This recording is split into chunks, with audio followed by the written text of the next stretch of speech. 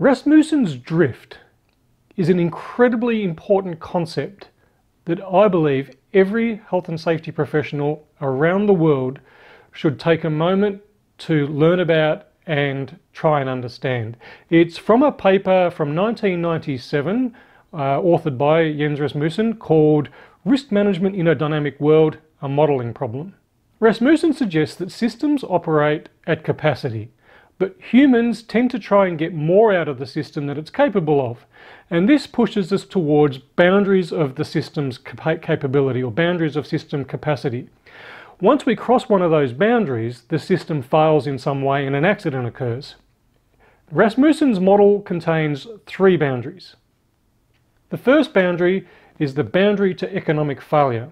That's the boundary at which if we were to cross that boundary, it's where the business starts to lose money and it will go broke. So we cross the boundary to economic failure, the business is not sustainable financially. Then we have the boundary to unacceptable workload. This is getting the, the human capacity. How much can humans work, uh, work? How much work can we take on before we break down and fail? Then there is the boundary of to performance failure. At which stage do we cross that boundary where performance has failed and the system again uh, results in some type of accident or failure? Within those boundaries, we have the space of possibilities, degrees of freedom. Now, we can, the system will operate safely within all of those boundaries with degrees of freedom to operate. Meanwhile, we have management pressure away from the boundary to economic failure towards efficiency. So getting more done with less, trying to get more profit and, and minimizing uh, costs and expenses. We also have this gradient towards least effort. Now this is human inclination to try and do work or stuff, things uh, using the least amount of effort possible. And it's a, an incredible instinct and survival um, technique that humans have. It, but it causes us to do things like cut corners, uh, find workarounds, take shortcuts. It doesn't mean that we're lazy. It's, a, it's, a, it's something that humans have done very well over time. But then we have this opposing gradient on efforts to improve safety, things like policies, procedures, training, efforts to change safety culture, which push back against those, those other boundaries, the boundaries um, or, or, towards those gradients, management pressure towards efficiency and the gradient towards least effort.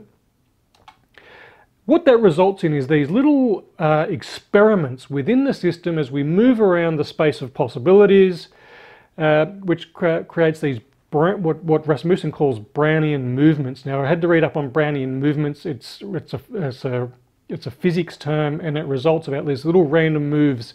So, so what we've got are these little um, oppose these forces. We've got one pushing this way, we've got one pushing that way, and we've got the the, the counter force uh, gradient from from safety and it creates these little movements within, within the safe boundaries of the system.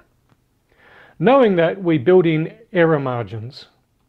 Once we put in our error margin to, to uh, try and keep us away from the, those boundaries of failure, we end up with this resulting perceived boundary to performance failure.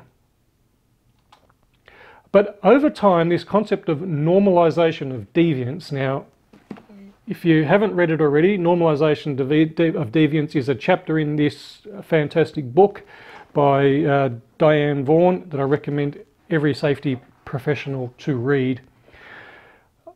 Normalization of deviance involves, we take those experiments to, as we, as we work within the, the safe boundaries of the system. So we take a shortcut. So eh, a human takes a shortcut, we find a workaround, over time as we get comfortable with that and no negative consequence comes from that or, positive, con positive consequence comes from it, we accept that as normal. And then as we experiment more and more, and more management cuts a little bit more uh, of funding and puts us under a bit more pressure to work, work towards efficiency, and that's successful, that deviance away from the way we used to work becomes normalized and becomes normal. And normal work constantly changes. And this is where the drifting occurs because the, this normalization of deviance pushes that boundary or the perceived boundary of performance failure outwards towards the actual boundary of to performance failure which results in, as we get closer and closer and closer to that boundary, as we push the boundaries, you've heard the saying, we push the boundaries. This is essentially what we do, but it's in small little steps over time. As we normalize deviance, we move that boundary, uh, the perceived boundary of performance failure. The error margin gets smaller and smaller and smaller, and we have an accident. We cross the boundary. We push back a little bit, we learn from the accident over time, another accident. We try and push back again, we put some interventions in place, another accident it's really important to understand that how these things occur over time, how the normalization of deviance works, and those boundaries of safe performance, and why it is we need to spend a lot of time understanding and studying normal work.